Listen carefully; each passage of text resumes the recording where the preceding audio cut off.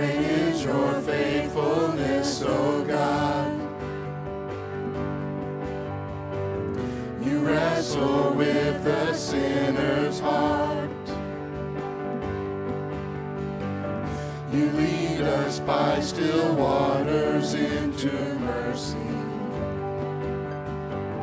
And nothing can keep us apart. So remember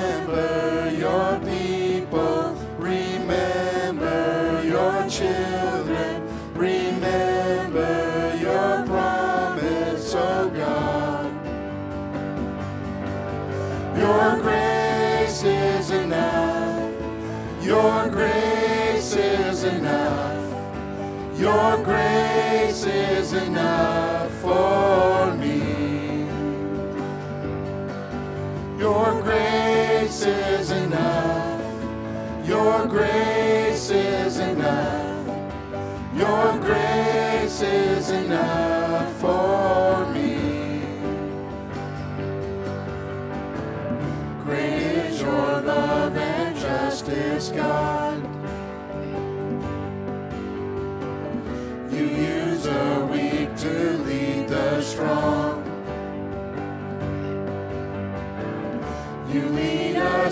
the song of your salvation. And all your people sing along. So remember. So remember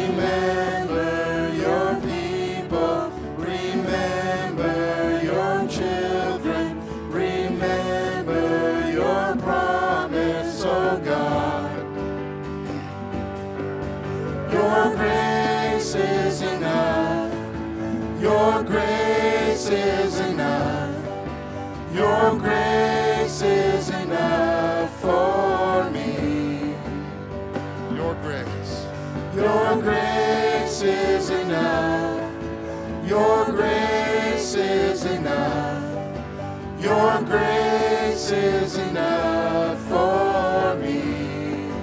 So remember. So remember your people. Remember your children. Remember your promise, oh God. Your grace is enough. Heaven reaches out to us. Your grace is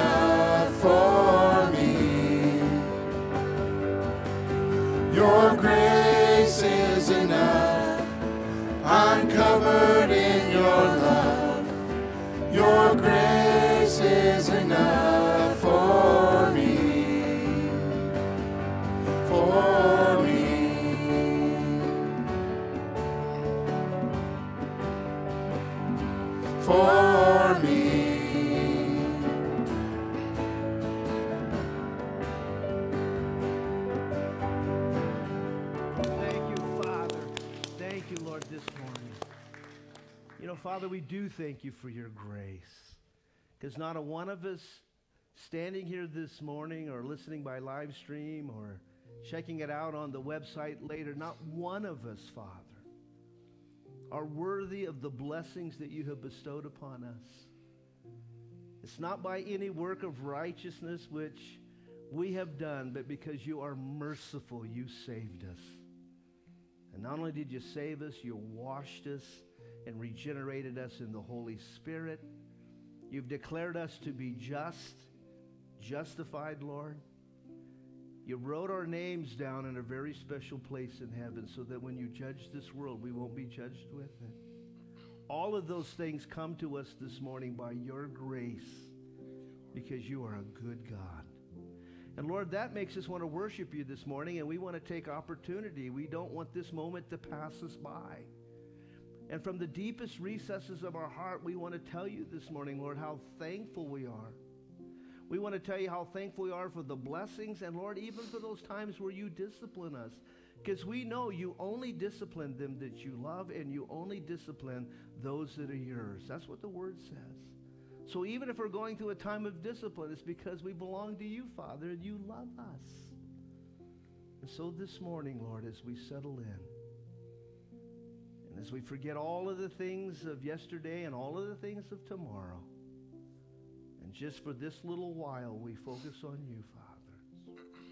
May your Holy Spirit be here. May we sense your presence this morning as we love you and honor you. And we pray these things in the mighty name of Jesus. And all God's kids would say, Amen. Amen. Hey, let's remain standing this morning. Thank you.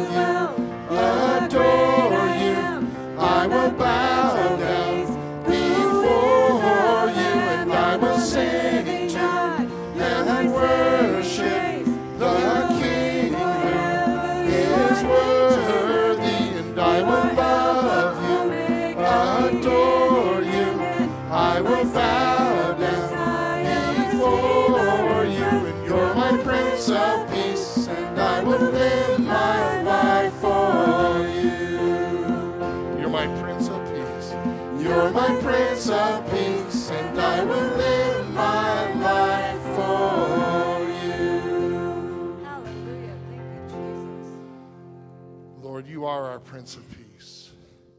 You are all these things, Lord. Singing of your attributes and your wonderful, just the many facets, Lord, of who you are and the way you minister to us in so many different ways. And Lord, we can never, ever just look at you in one way. And so, Lord, we just thank you so much for who you are, all that you've done for us, Lord, that we're the apple of your eye. We're a speck on a speck in the middle of specks in this universe. And yet you have every hair of our head numbered every tear shed counted. Even the breath in our lungs is from you, Lord. There is no one like you. Thank you, Lord Jesus. In Jesus' name, you may be seated.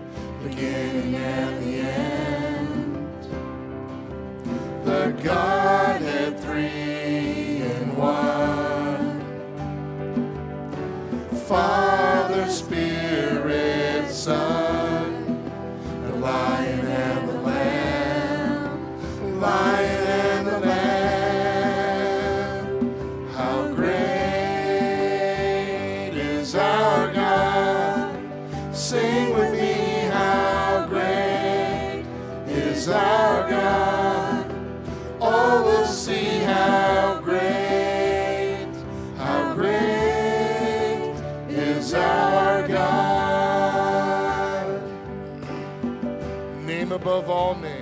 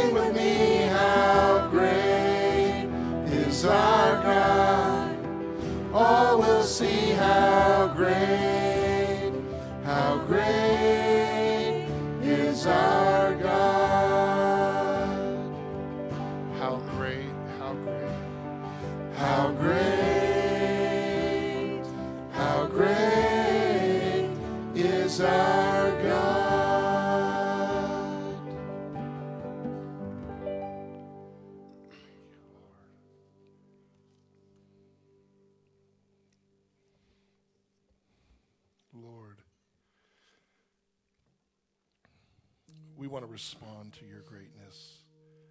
We want to respond to your love, your grace, and the things in your life, Lord. So, Father, as we sing this next song, Lord, that this would be the prayer of our hearts.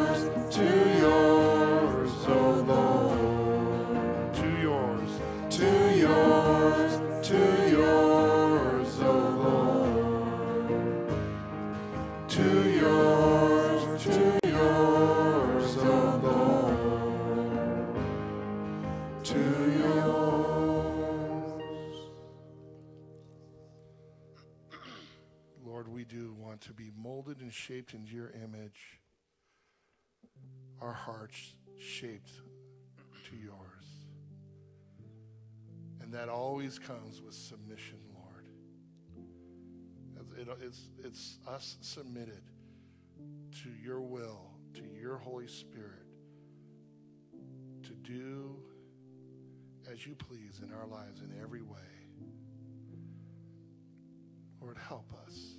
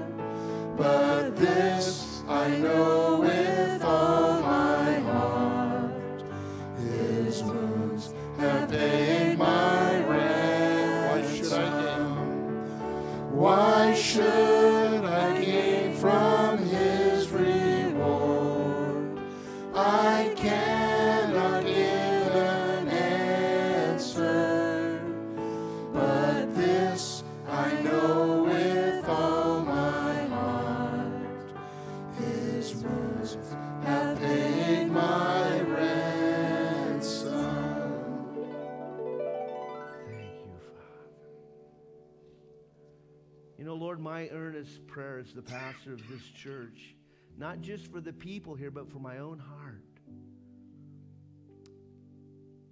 that the blessedness of that message, of that great truth, the understanding, Lord, of what you were willing to sacrifice for us, the extent and to the degree you were willing to go in regards to our salvation.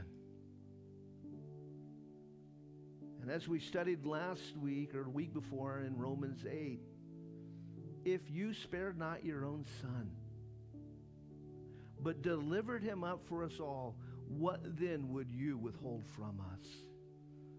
It's a rhetorical question. The answer is obviously nothing.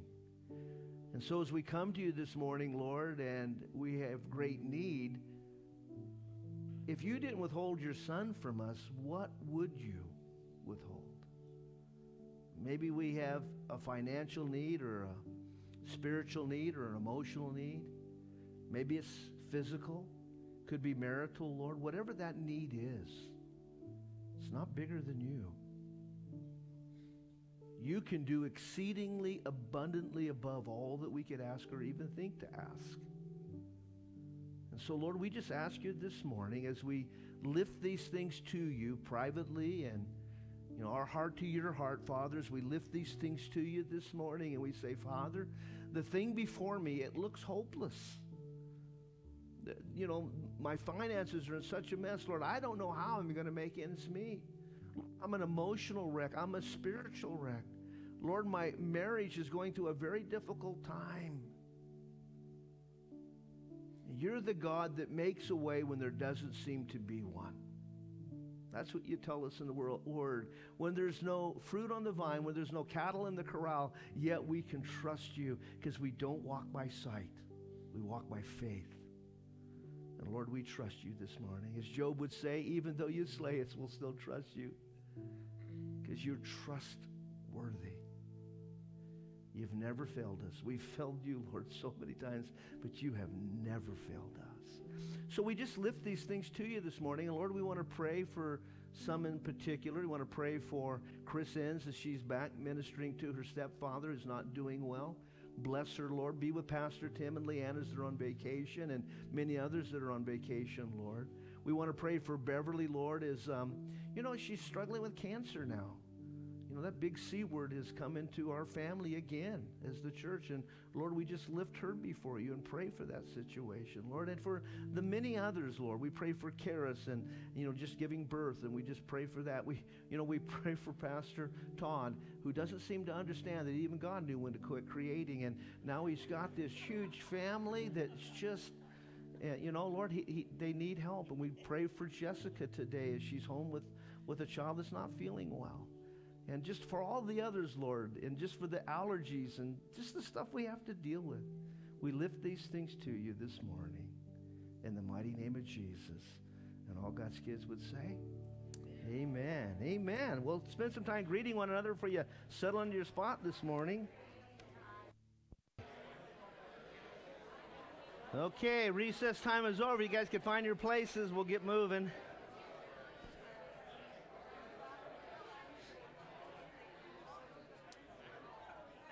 Come on in, settle down.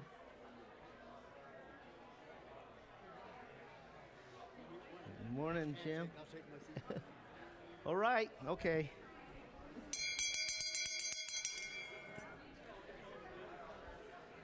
All right. Come on in, settle down.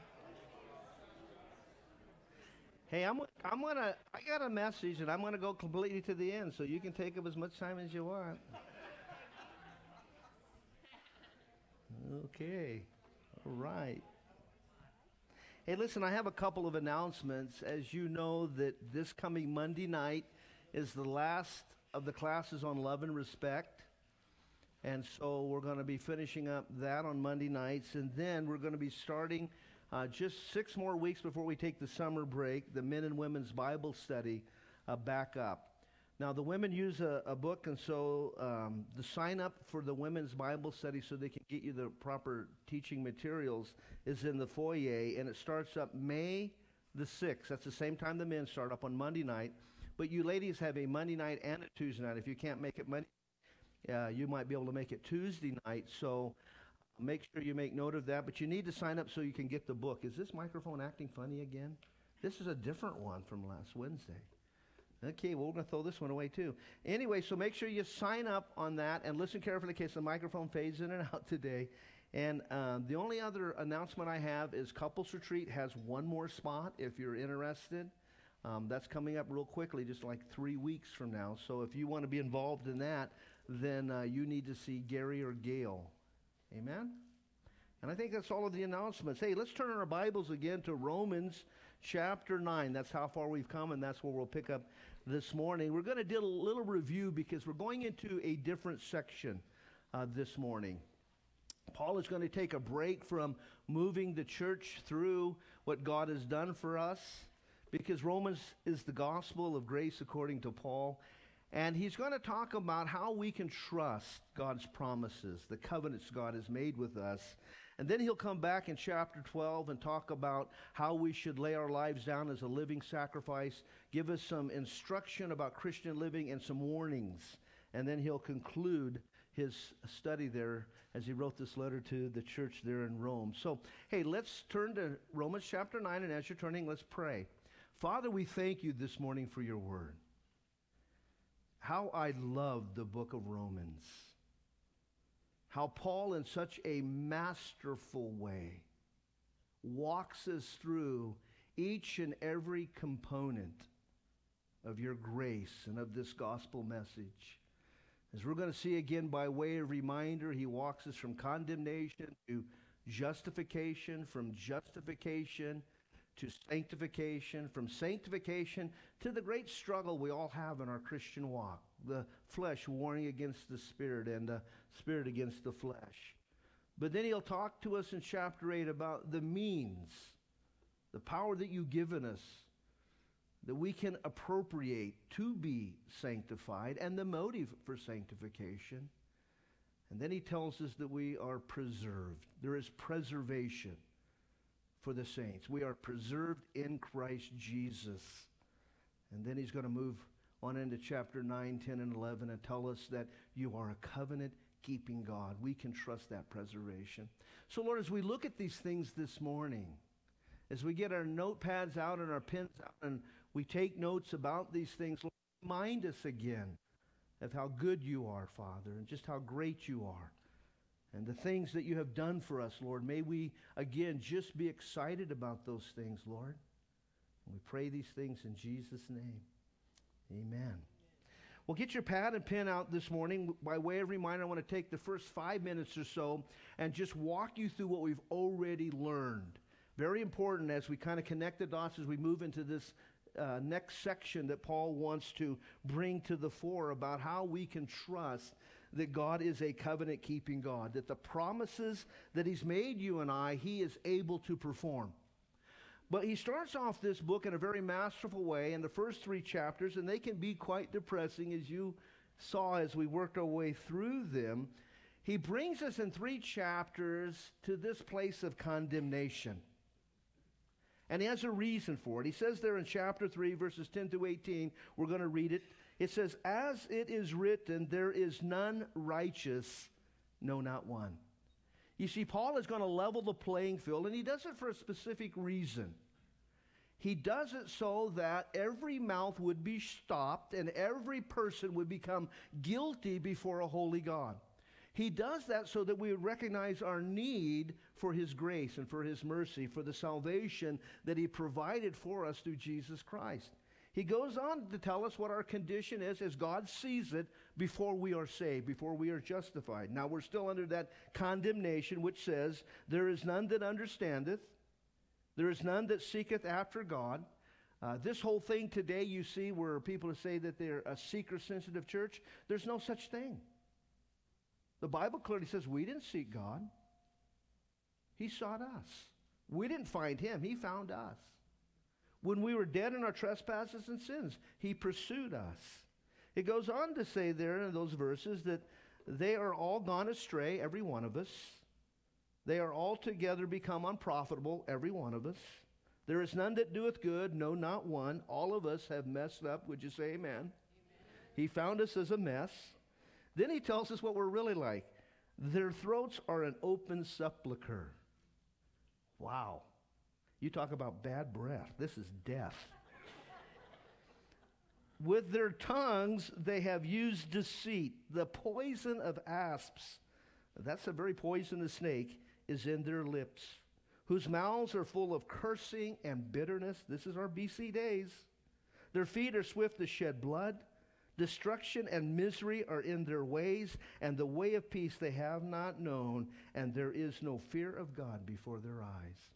That's what we were like when Jesus found us. And I like that Paul pulls no punches. That's who we are in our BC days. Amen? Every one of us. Every one of us.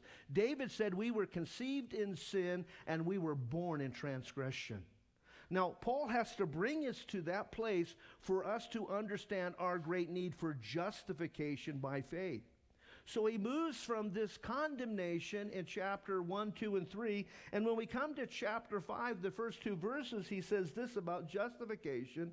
Therefore, being justified by faith, every one of us that about our hearts to the Lordship of Jesus Christ, that very moment we were born again. And when we were born again by the Spirit of God, washed in the blood of Christ, having received what Christ did for us in that substitutionary way, as we've appropriated it to ourselves, as we understood He propitiated our sin, that very moment we were justified. That means we were made by the Lord Jesus Christ just as though we never sinned.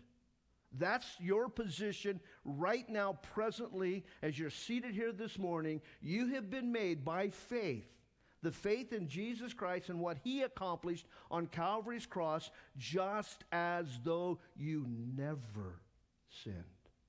And you can't improve on that. That's why it says in Hebrews chapter 1 that by himself he purged our sins. And that word purge there is katharizo. We get to be catheterized from that word in the English language. It means to have all of the poison drained out of us. It says, by faith, we've been justified. And not only that, because of that, he goes on to tell us in chapter 5 in the first two verses that we have peace with God. That's very important. This is not the peace of God, we have that as well, but this is peace with God, which means that God will never be angry with you again. Why is that? Because again, in Hebrews chapter 10, he tells us, by one sacrifice, he has perfected forever them that he made holy, and your sins and my sins, our iniquities, he remembers no more. Thus, we have peace with him, we have a standing in his grace, and we have the hope of heaven. That all came to us by justification.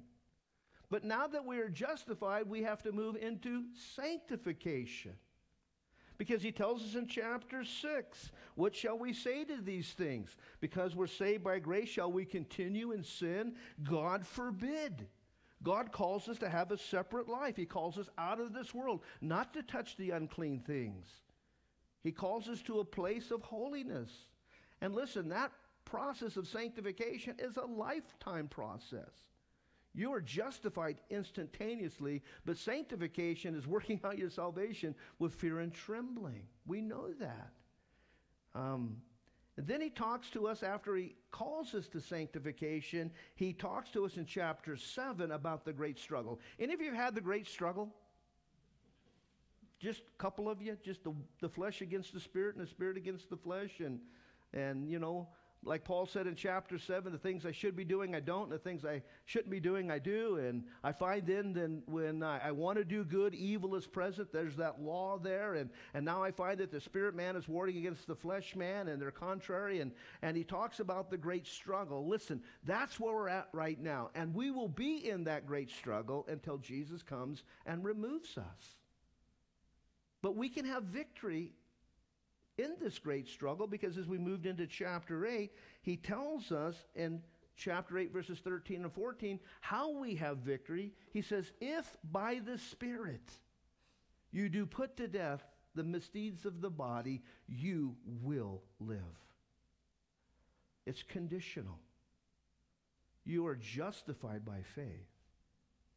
You are called now to walk in sanctification as you begin to walk in sanctification, you find that there is a struggle Because although the spirit man has been regenerated, you still have this flesh man.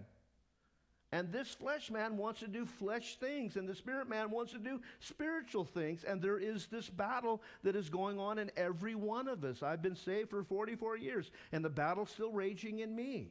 It will rage in me until the day that Jesus comes, either by the rapture or by the grave for me. But I can't have victory in this battle. But it is conditional. I have to appropriate the means. If, there's the condition, by the Spirit, the Spirit, the Holy Spirit, that same Spirit that Jesus, that raised Jesus from the dead, that Paul says dwells in us, that is the means by which we walk in sanctification. If by the Spirit I put to death, that's the action, the misdeeds of the body, then I will live. That's the reward.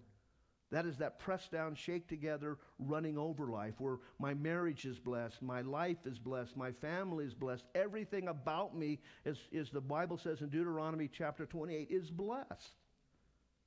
And that's the means. The motivation for sanctification we found in verse 18 of chapter 8, where Paul says, The sufferings of this present life, whatever we got to go through, as we crucify the flesh, the sufferings of this present life aren't worthy to be compared to what's going on on the other side of this thing for you and me.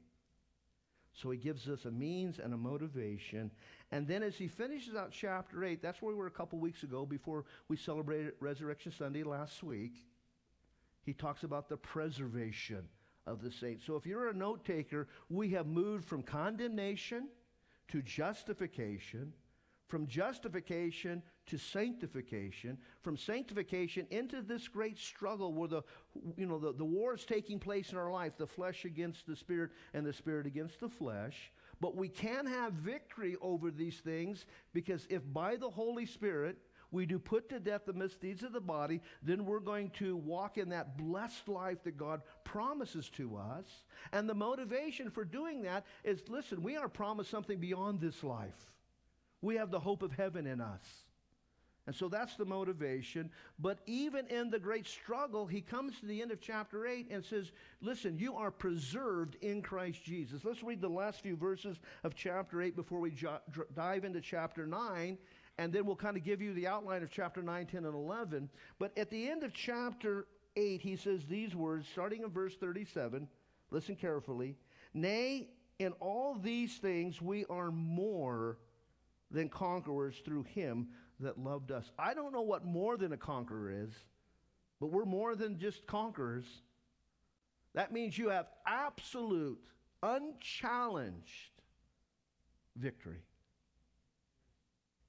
Isn't that cool? You already won. We already won. We're already victors.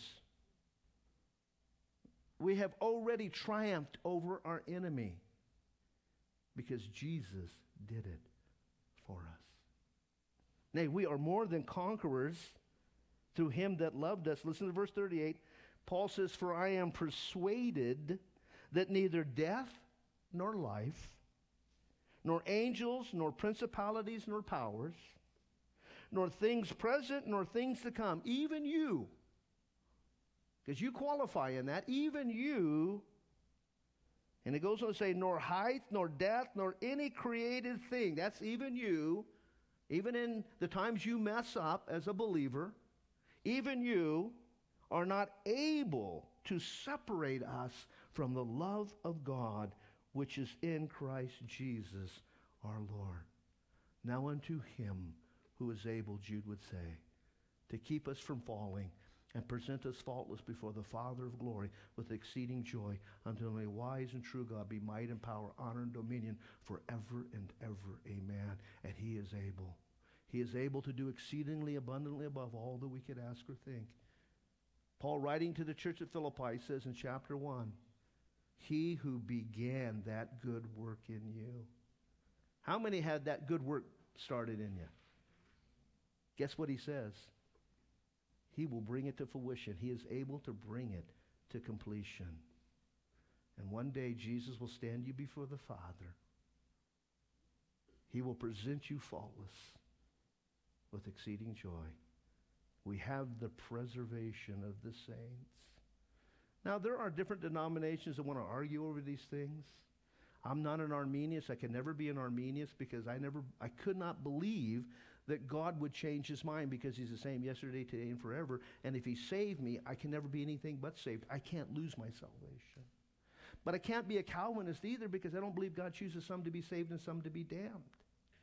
I don't fit in either camp because I'm a biblicist. And this is what I know about you and me this morning from the Word of God as Paul declares this great gospel message. We have moved this morning from condemnation into justification, from justification into sanctification. We have a power in this process of sanctification, even though we're in this great struggle to have victory, and we have a motive that, listen, we are fighting for our own souls and what's going to go on on the other side of this thing. We have a great promise. And Jesus is going to preserve us faultless. He will present us that way before the Father of glory. Now, some would say, and this is why Paul launches off into chapter 9, 10, and 11, it's kind of parentheses. Most commentators say that. Most scholars affirm that, that there's kind of a parenthesis here that just kind of doesn't fit with the flow unless you understand the point that Paul is trying to make. Now, Peter says, even of Paul, that he's sometimes hard to understand because sometimes, because of his intellect, he goes a long way around the barn. But let me take you to the point he's going to make, and then we'll start this journey around the barn. In chapter 11, in verses 1 and 2, turn there just real quickly. This is where Paul is headed. He's got a specific thing in mind as he walks through chapter 9. You'll see it, chapter 10 on through chapter 11. The point he's trying to make is that God is a covenant keeping God. Because the question could be asked truly if God is a covenant keeping God and we have preservation in Christ, then why can we trust that if God has cast Israel away? Those people that have bought into replacement theology who think that the church has replaced Israel ought to be worried. Because if God could replace Israel with the church, then he could replace you and me with something else. But my Bible says that God is the same yesterday, today, and forever. There is no shadow of turning in him. My Bible says God is not a man that he could lie. And so we understand that the promises of God are yes and amen. God made some specific promises to Israel that are yet to be fulfilled, and He will not cast Israel away until those promises are fulfilled. But yet, in the Old Testament, as Paul's going to quote from Hosea and Isaiah in chapter 9, he's going to remind the nation of Israel that he's not cast away the Old Testament. Paul hasn't. In fact, Paul preaches out of the Old Testament Christ and Him crucified.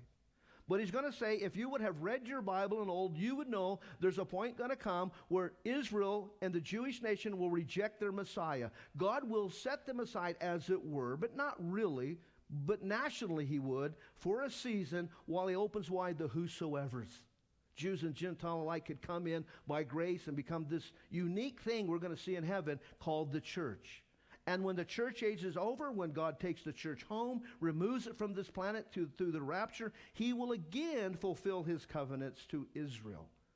And that's coming pretty quickly, by the way. He's brought Israel back together as a nation again in 1948. He gave them the holy city of Jerusalem as was promised in 1967.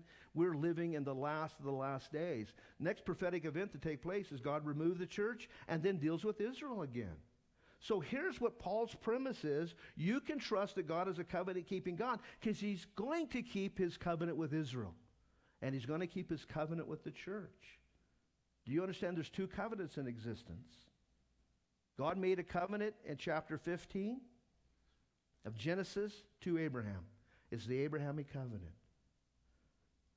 Abraham asked the question, How can I trust that the things you have told me will come to pass? How can I trust, God, that you would keep your word?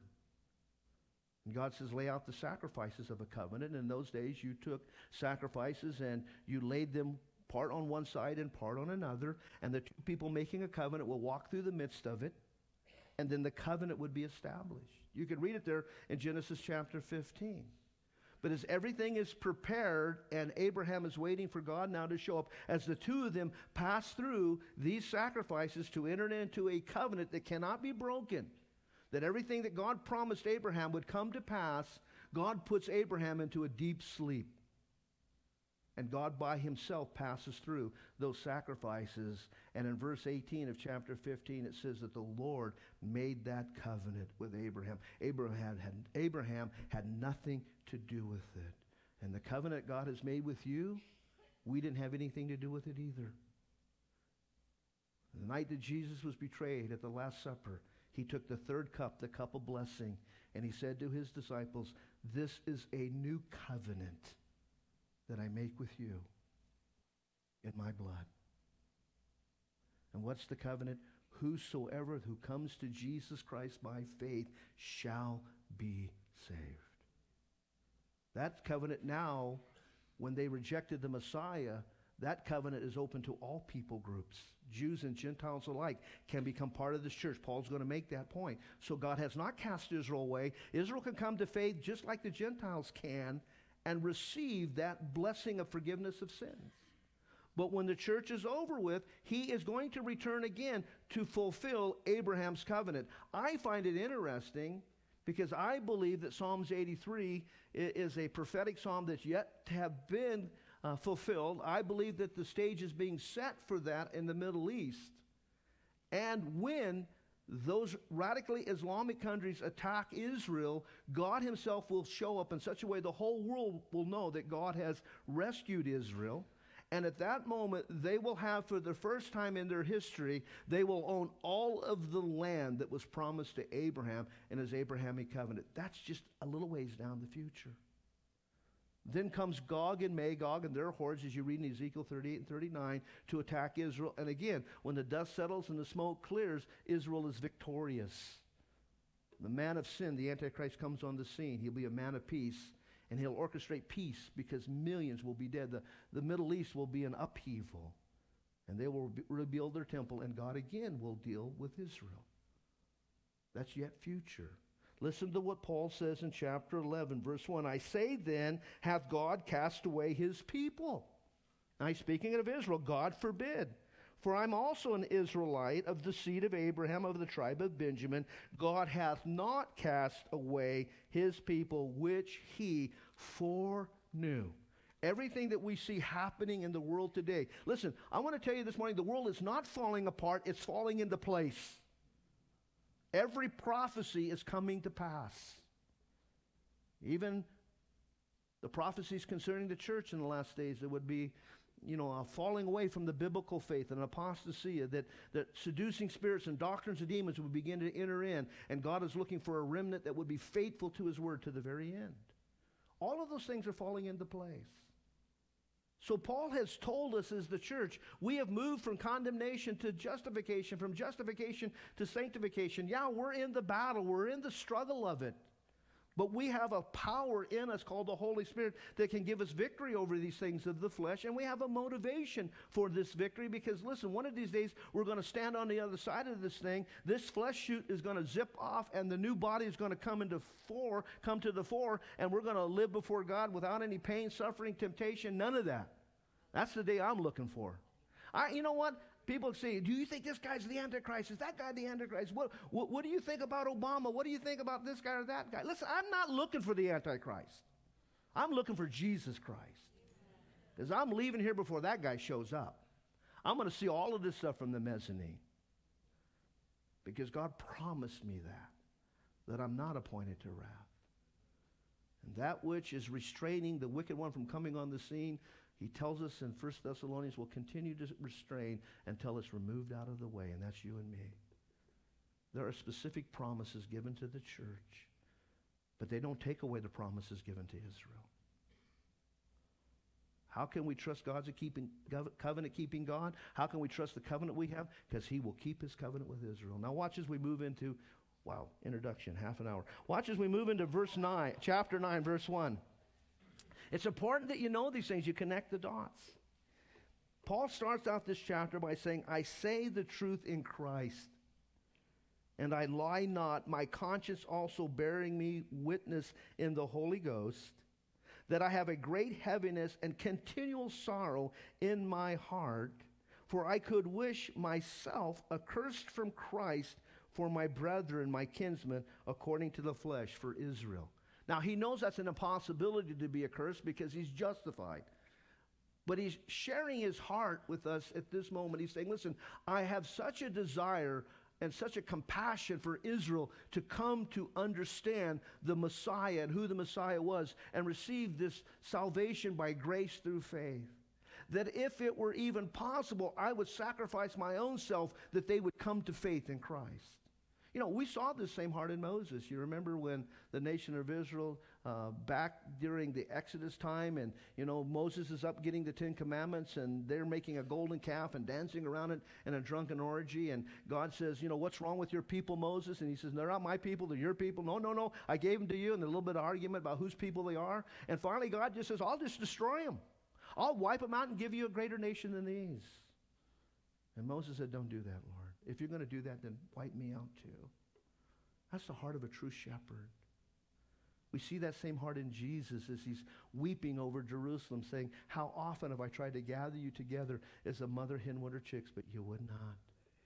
And because you would not, these things are going to come upon you. It's right that we have that heart for Israel today as the church, is it not? That we pray for the peace of Jerusalem. That we encourage our Jewish brothers because we're grafted in to them, that we encourage them to come to faith and receive the true Messiah? I think it is. This is Paul's heart. And then Paul says an interesting thing here. Watch carefully. Who are Israelites? To whom pertaineth the adoption?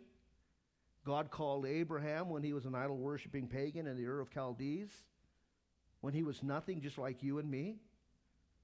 And he brought him into sonship and into, if I can say that this morning, daughtership. We're the sons and daughters of the living God. He brought Abraham into that same way. And the glory, that means there's a promise and a hope given to Israel, like it was given to the church of our future in heaven with Christ. You remember what Jesus said in John chapter 14? Let not your heart be troubled. Believe in God, believe also in me, because in my Father's house, I like that phrase. In my Father's house are many dwelling places. If it weren't so, I wouldn't have told you. But I'm going away to prepare a place for you. And when it's done, I'm coming back that where, you, where I am, you might be also. We have a promise. Israel had a promise of the glory to come. The covenants, God gave them a covenant through Abraham. He's given us a covenant through Christ. And of the giving of the law, they were given the law, the first five books of Moses, the Pentateuch. They were given the prophets, the historical accounts, the historical records of God moving in the nation of Israel. And we're given the Word of God. We have the New Testament. They were given the Old Testament. And of the service of God, as they were to be a light to the world, guess who we are to be? We're salt and light. And of the promises. They were given promises and we're given promises. Can, can I read you? I, I don't know how far we're going to get this morning, but I want you to know what the promises are God's given you and me. And we find it in Ephesians chapter 1. They'll put it up on the screen if you don't turn there fast enough. But in Ephesians chapter 1, in verses 13 through 14, there are seven promises given to us. Paul is reminding us, the church, that Israel are still God's people. And they received the adoption, they received the glory, they received covenants, they received the law, they received service, and they received promises under their covenant. We have a covenant too. And it says in Ephesians chapter 1, starting in verse 3 Blessed be the God and Father of the Lord Jesus Christ, who have blessed us with some spiritual blessings. Does it say some? Well, with most spiritual blessings. Doesn't say that either, does it? Whatever a spiritual blessing is, guess what? You have it. He has blessed us with all spiritual blessings in heavenly places in Christ Jesus. All of these blessings come to us because we're in Christ. According, here's the first one, as he has chosen us in him before the foundation of the world. You see, I have no problem with predestination. I don't have any problem with election. I like being elected. This is the only thing that I was ever chosen for. I remember in, in grade school, you know, you, you go out to the recess and, and you want to play dodgeball with everybody. I'm the last guy they would choose. We had him last week, you get him this week. I like being chosen. I like what J. Vernon McGee says, you know. You think you've chosen him, and you walk in the church doors and you look back over the church doors and it says, You have not chosen me, but I've chosen you. And, and I've had people argue with me about that. What if I'm not chosen? Well, choose. And then you'll find you were chosen. Well, if I don't want to be chosen, then you weren't chosen. It's not hard. You're a whosoever. You can choose. And if you don't choose, you weren't chosen. I don't have any problem with this because he tells us he chose us before the foundations of the world. You're not sitting here by happen chance. And I believe, as we're going to see in the text this morning, if we get that far, he chooses us because he foreknows. Isn't that what he said in, in, in chapter 11 about Israel? Watch verse 2 again. God hath not cast away his people, which he what? Foreknew. You listen, you're no mystery to God and you're no accident. And every struggle and every failure he already knew and he chose you. You're chosen that one day you would stand before him in love. Having predestinated us unto the adoption of children. You're adopted. And Paul uses this because the Romans would have understood that because in the Roman times, if a Roman citizen adopted somebody, they took on the name, they were heirs to all that that Roman citizen had, and they were given Roman citizenship. Listen, we're adopted, and everything that's the Father's is ours. And we now are sons and daughters of the living God. We are the heirs of Jesus Christ, joint heirs. And so he adopted us as children unto himself according his, to his good pleasure. Here's the third thing to the praise of the glory of his grace, wherein he has made us accepted in the beloved. I'm going to tell you, our society, our culture today, we struggle with acceptance, don't we? Who, who likes being rejected? Anybody like being rejected here today? Are you, are you that messed up you need to come in and see, get some counseling? Nobody wants to be rejected. But I want you to know this morning you are accepted. You are accepted in the beloved. God accepts you. That's the third thing. Well, it gets better. In whom we have redemption through the blood of Jesus Christ. We have the forgiveness of sins. That's a promise. That's a covenant we have. We have the forgiveness of sins. And then he moves on. It says, wherein we abound toward us in all wisdom and all prudence. God has given you a knowledge that the world doesn't have having made known unto us the mysteries of his will, according to his good pleasure, which he purposed in himself, that in the dispensation of the fullness of time he might gather together in one all things in Christ, both that which is in heaven and that which is even the earth, even into him. Man, that's that's the knowledge we have this morning. And then he says in this, in whom we have obtained an inheritance. Man, heaven is yours by inheritance. You have a possession waiting for you. Listen, when you get to heaven, come visit me. Just go down 77 Pearly Gates Boulevard and take a right at Warren Boulevard. Come up past the you know, the Bass Pond, past the Trout Creek, past all of the hunting woods there. Don't stop and take any of my game and come up to my, my, my log cabin. And and behind it, I'll have a drag strip. Reggie, you come on up, bring your Chevy, and eh, because you're not quite sanctified, I'll show you what a Ford looks like, and at least the backside of one, and we'll we'll have some fun. I jest, but heaven's going to be a wonderful place, and it's already mine, and it's already yours.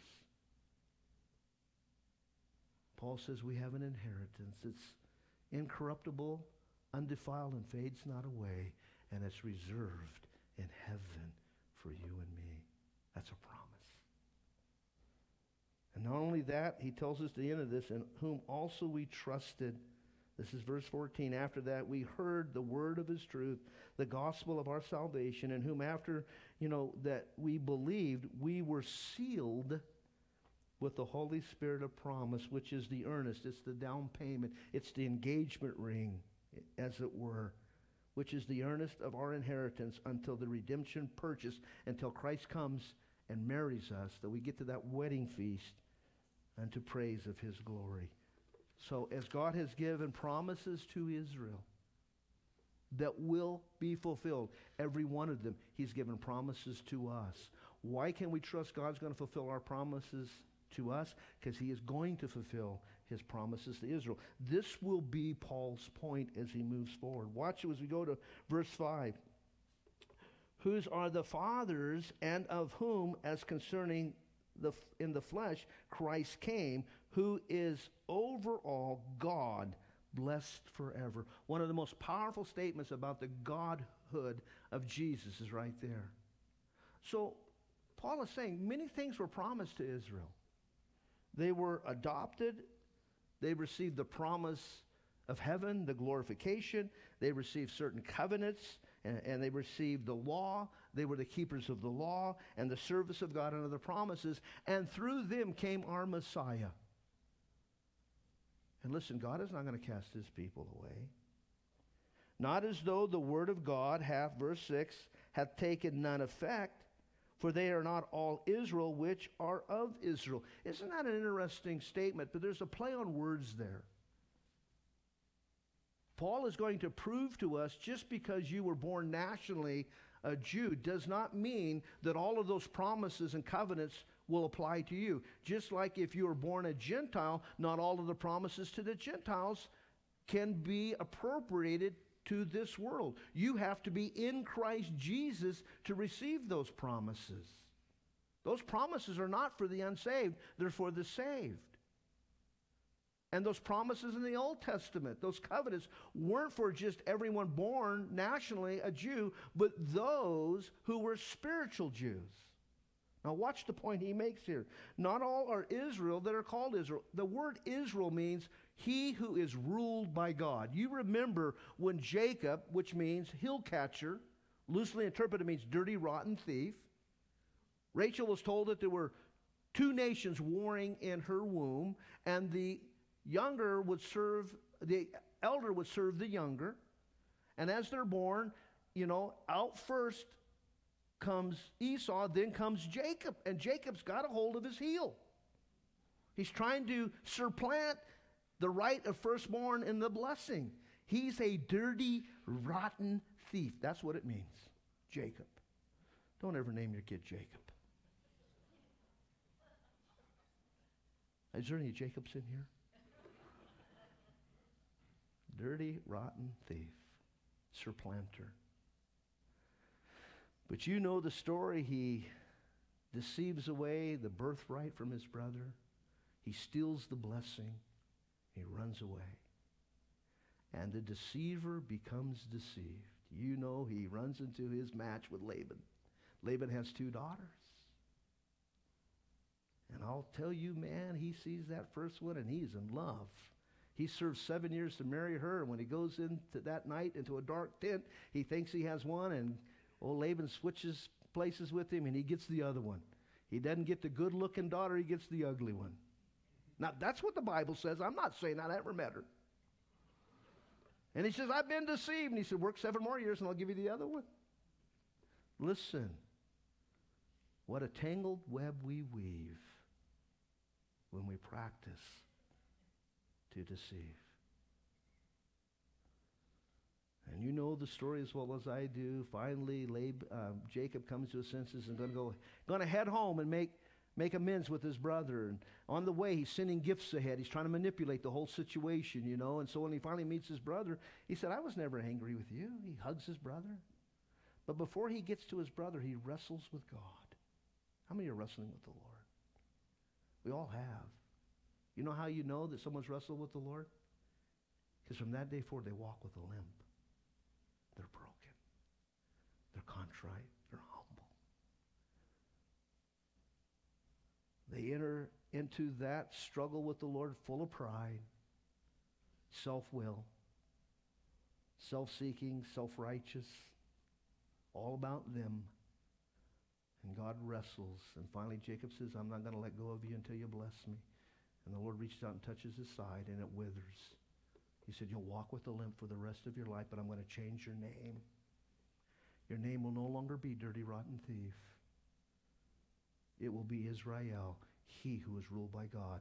Listen, the very same thing happened to you and me. For me, 44 years ago, I was a hateful, prideful, drug abusing, amoral man. You would not have liked me in my BC days. I didn't even like me in my BC days. I hated me so much I was going to kill me. And God found me. And that night, 44 years ago, up in the mountains at a little Bible study with a bunch of other hippie girls and gals,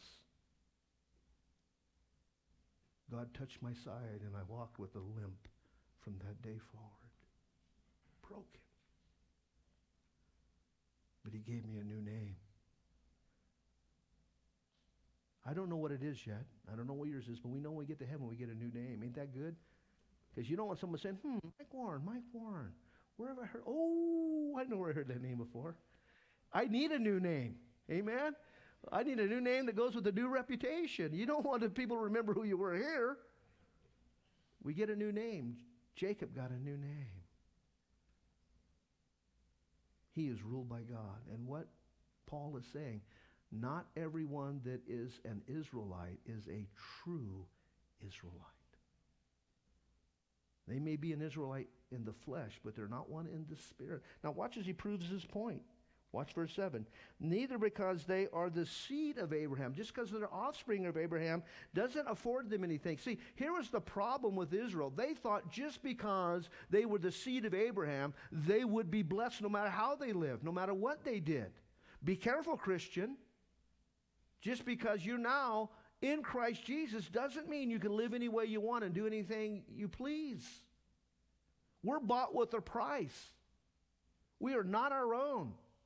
We are crucified with Christ, nevertheless we live. But it's not us any longer. It's Christ in us, the hope of glory. And we're called to walk worthy of the vocation to which we're called. That's sanctification. Israel wasn't walking worthy to the things they were called, they rejected their Messiah.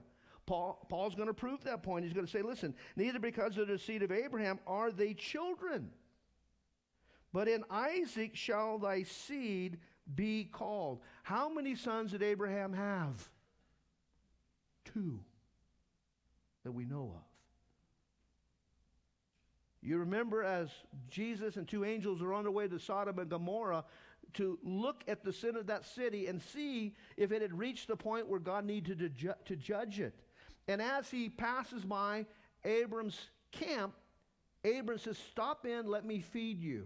And as they're feeding these two angels and Jesus in, a, in kind of a, an epiphany there, uh, Abraham enters into a discussion. What are you guys doing? Well, we're going down to Sodom and Gomorrah. What are you going down there for? Well, we're going to see if the sin of Sodom and Gomorrah has reached now the level of God's judgment because God judges sin morally, not by, you know, uh, a calendar or by a clock. And we're going down to see if it demands God's judgment. And then, you know, the, the first Jewish act of a Jewish person is he begins to Jew them down. I, I didn't create this, it's in the Bible. For 50 men, would you destroy this city? Well, no, for 50 we wouldn't. How about 40? See, I do that when I'm buying a car. How about 40? Well, no, not for 40. Well, 30? How about 10? Would you destroy it for five? And they said, for five righteous men, we wouldn't destroy this city. Sad thing is, they didn't find it, just Lot and his family. And God removed the righteous before judgment came. Listen, that's an MO. He's going to remove you and me before judgment comes.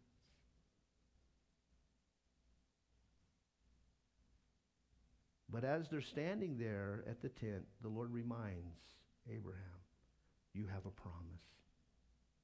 You're going to have a son. And he's going to grow into a great nation more than the sands of the seas. He's the son of promise. And you remember as they're getting older and older, and pretty soon Sarah's womb dries up, and Abraham's having some problems, and you know, he's in almost 100 and she's in her 90s, and it was impossible almost for them to have a child. As they're getting close to that, they said, We'll help God out. How many have tried to help God out? Because in that culture, you could bring your handmaid in, and there was a whole process by which she would conceive, and the baby that was born, the, the, the true biological mother would give birth while the stepmom would catch the baby, and it would be theirs. And so they had Ishmael. And I think Abraham says, See, God, what we've done? He said, Yeah, what did you do? We're still reaping the benefits of that today, aren't we? With the whole Arab nation. And he said, That's not the son of promise. I told you that you would have a son of promise. And when it was impossible for them to do it in and of themselves, she conceived and bore a son, Isaac. And the Bible says to Abraham, Take your son, your only son, Isaac, to a place that I will show you and sacrifice him there. And three days they journeyed to Mount Moriah. And on Mount Moriah, Isaac, 35, 40 years old, goes up with his father. And there he is bound to an altar. And he's about to have that sacrificial knife plunged into him. And God says, Now I know, Abram, you will hold nothing from me. You're a man of faith. What did he have faith in? The resurrection. How do you say that, Pastor? Well, if he would have killed his son, he believed, because he was the son of promise, that God would have to raise him from the dead. That's why Jesus said, Abraham rejoiced to see my day, and he saw it. When did he see it? You're not yet 50 years old. When did you see Abraham? When did Abraham see you? On Mount Moriah, 2,000 years before Christ, the same mountain was crucified Golgotha, Calvary. But Abraham had two sons, one by the flesh and one by promise. God did not recognize the works of the flesh, only that which is of promise. God does not recognize the works of our flesh, only our faith in Christ Jesus for salvation. That's the only thing that he recognizes. So he's saying here to Israel listen, you don't get a free pass just because you were born an Israelite. Don't you remember Abraham had two sons. One was of the flesh and one was of the spirit. And God said he only had one. He only recognized that which was of the spirit, not of the flesh.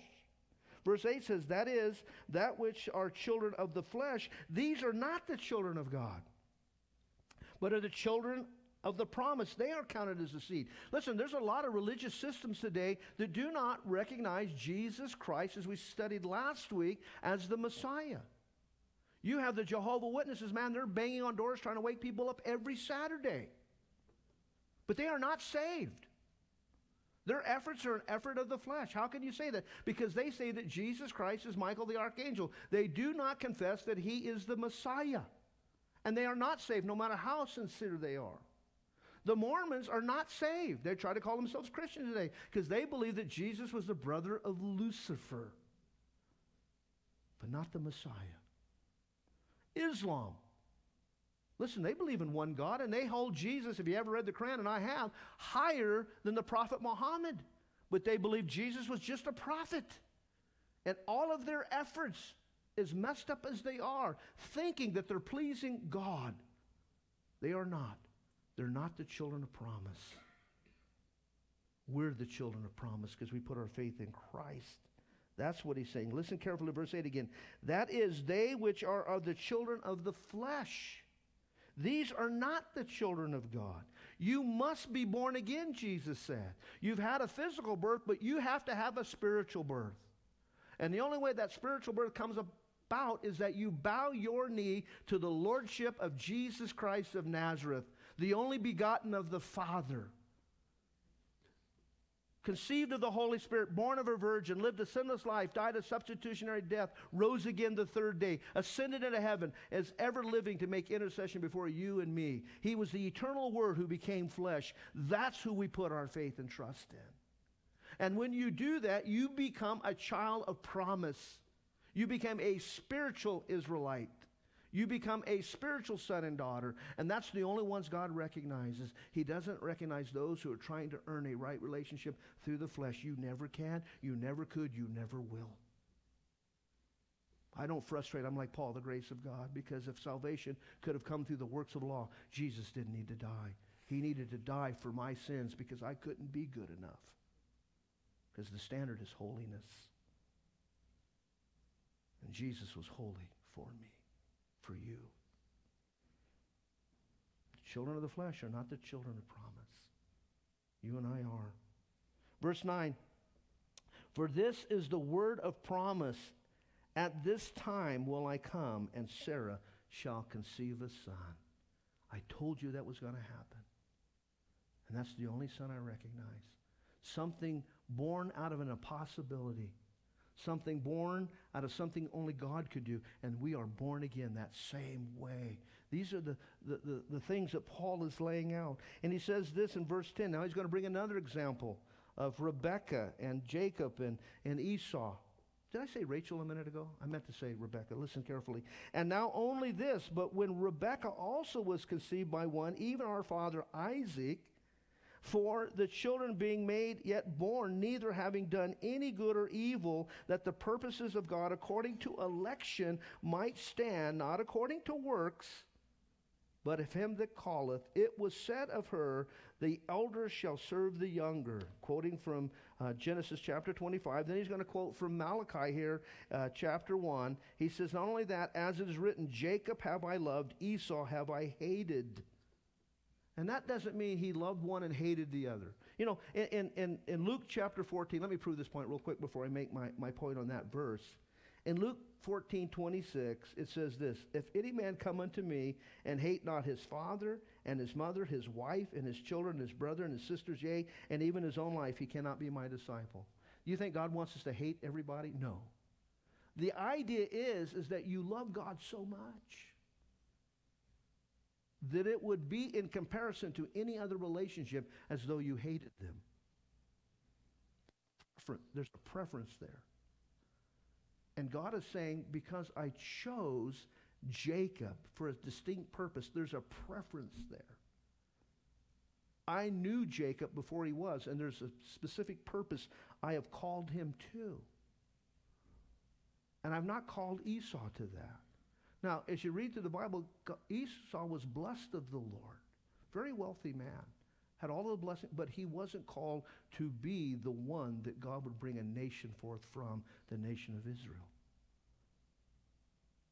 Even though he was the younger, God chose him to be greater than the elder. The point Paul is going to make as we walk through these next few verses is that God has the right to choose. He is sovereign. And we're going to see as we get to verse 23 that he chooses based on his foreknowledge. You're not a shock to him. What shall we say then? Is there unrighteousness with God because he chose Jacob? Because he was the younger and he didn't choose the elder?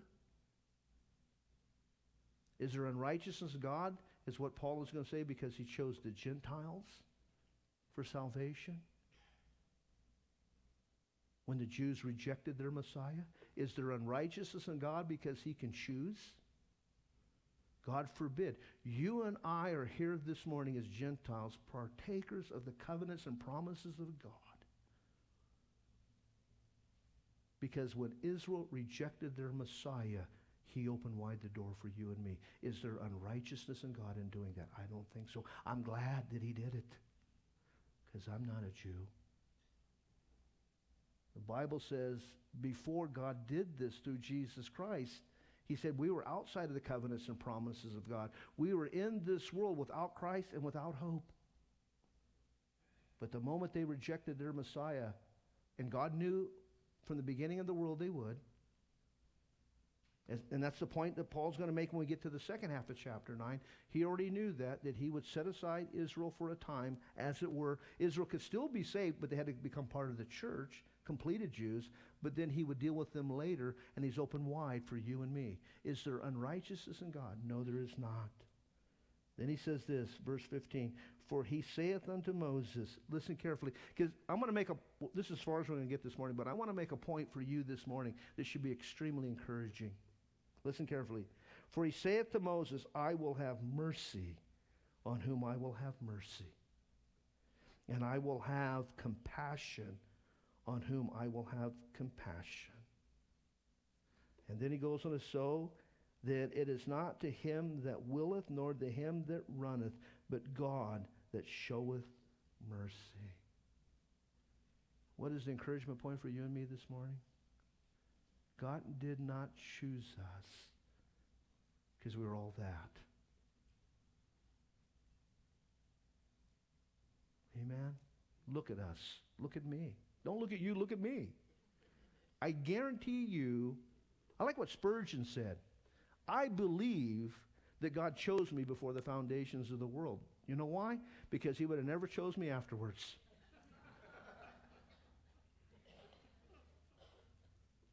You're here this morning because God chose you.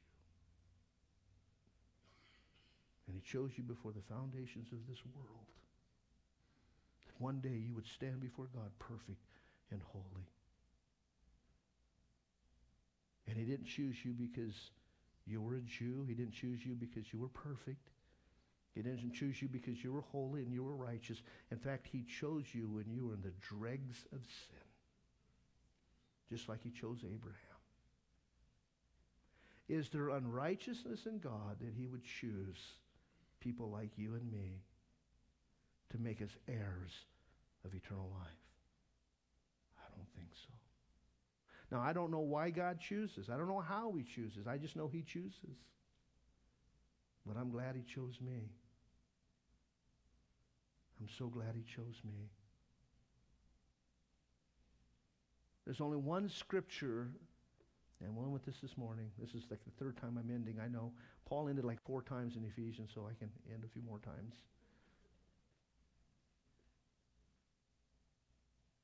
I'm glad he chose me because I would not have chosen me. The only scripture I disagree with in the Bible is where Paul says he was the chief of sinners. Not true. I was the chief of sinners.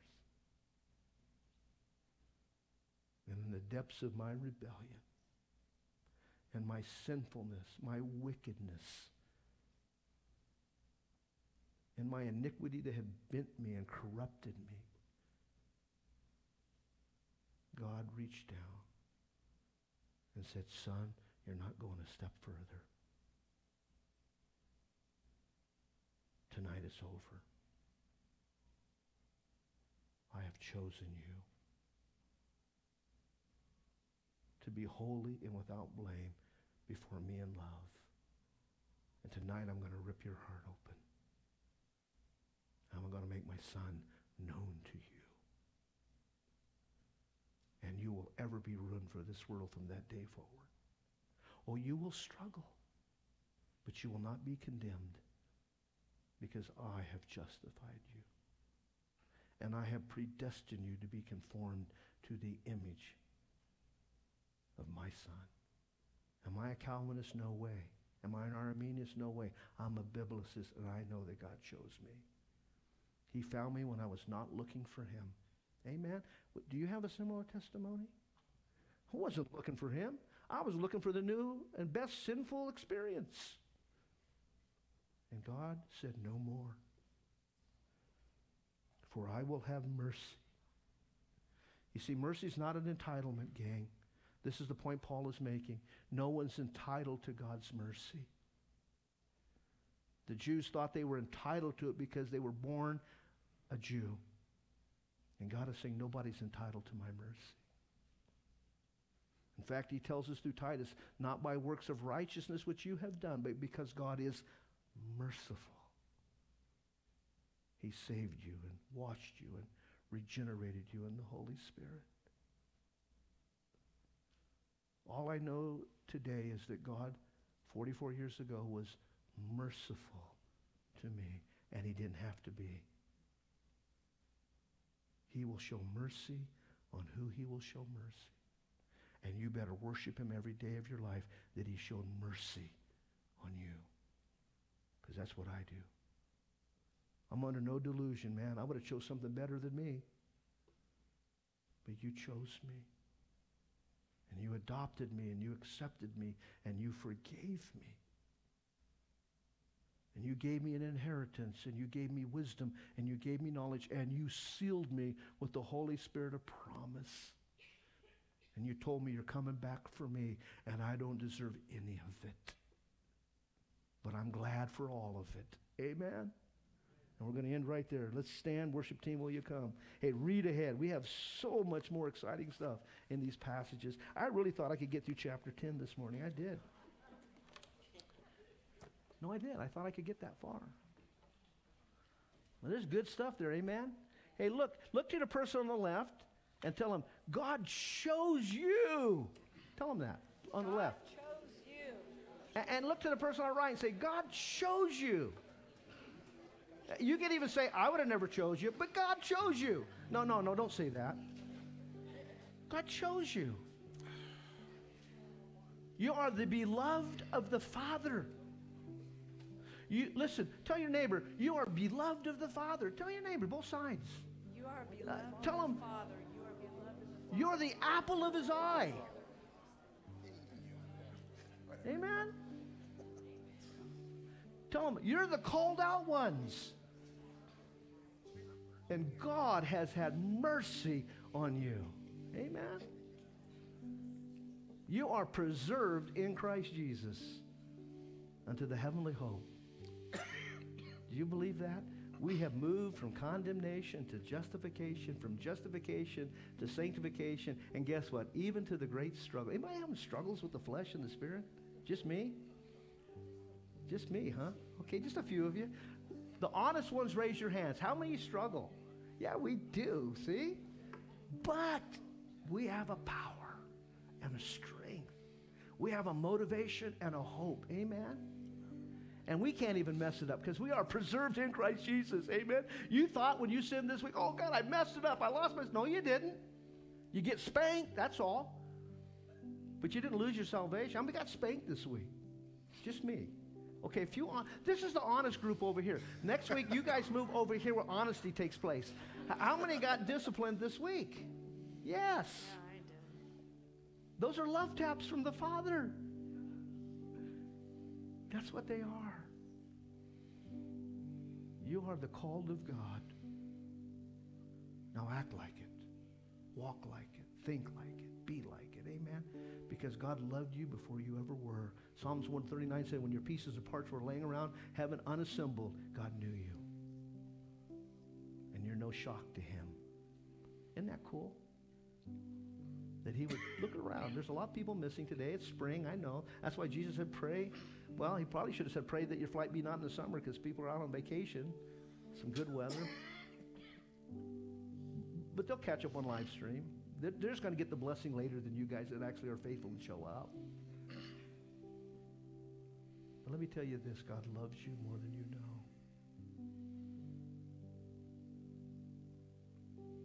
And every spiritual blessing in heavenly places is yours in Christ Jesus. That's who you are. And what God begins, he finishes. You don't finish it. You think you have to? You're out of your mind. Let that Holy Spirit work in you. Amen. Well, Father, thank you for loving us. Lord, we look around and we say, why did you choose us? But you did. And we thank you for it. In Jesus' name. Amen. Let's worship. Let's worship. Let's thank him for choosing us and showing us mercy.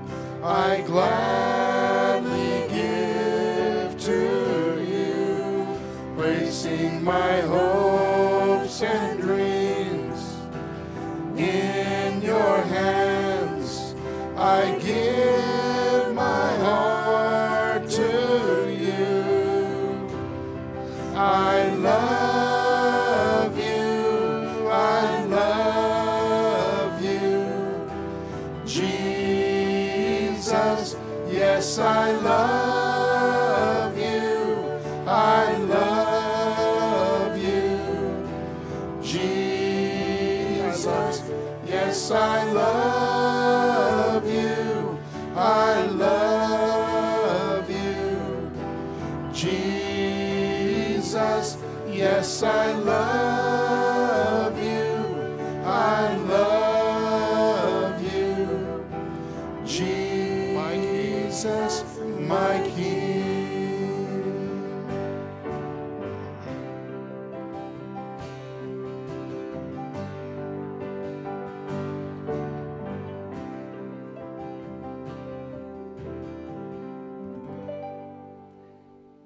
let's have every head bowed, every eye closed, just for a moment.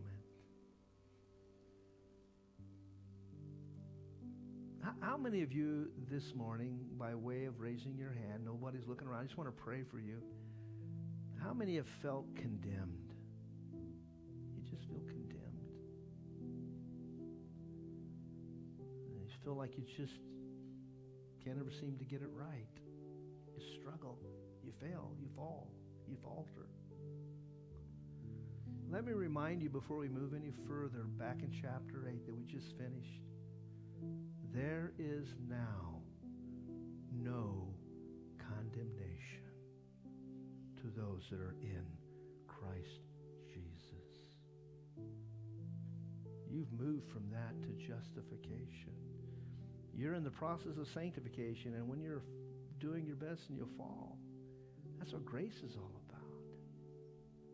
But you're not condemned. You have peace with God through his son Jesus Christ. God's not condemning you. He may be convicting you, but he's not condemning you. You're his sons. You're his daughters. He loves you. He is for you, and he's not against you. Who can bring a charge against God's elect? Who can condemn? We just saw that last week. Who can separate? Rhetorical questions. The answer is no one, no how, no way. Paul said, I'm persuaded that nothing can separate me from the love that I have in Christ Jesus. Listen, you leave here today knowing that God loves you and stop listening to the lies of the devil. Amen. Father, I pray this week you'd wrap your loving arms around each and every one of these people. You love them. You love us. May your face shine upon us. May you strengthen us. May you encourage us. May you fill us every day afresh and anew with your spirit. And give us the ability to say no to sin and yes to you, Father. And so we just ask these things this morning in the mighty name of Jesus. And all God's sons and daughters, by faith, would say, Amen. Hey, listen, if you need prayer, we're here to pray with you this morning. After a message like that, you shouldn't need any prayer, but if you do, we're up here. And uh, other than that, you're dismissed to fellowship.